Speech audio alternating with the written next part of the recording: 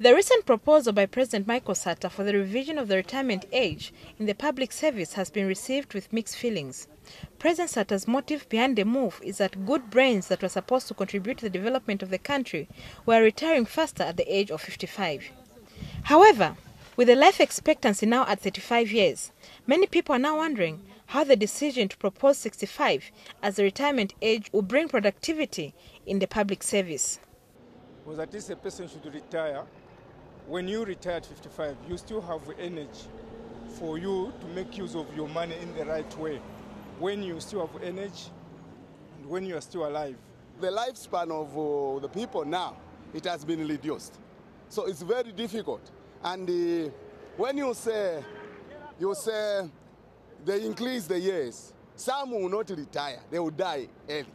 So 65 would be fine. They retire, they get their monies. They won't uh, start, uh, they, they won't get extravagant. Others argue that the revised retirement age would deny young workers of promotions as old people may cling on to their positions until the age of 65. And Unza retirees have urged President Sata to ensure that the terminal benefits are paid if the slogan of more money in people's pockets is to be meaningful.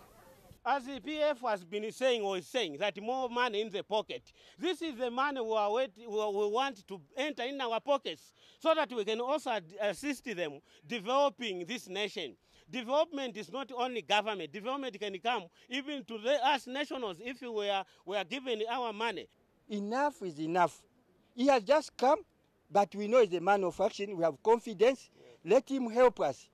He said, I can't do anything because now I'm a passenger in the minibus. Now that is a driver. We want to see the minibus moving.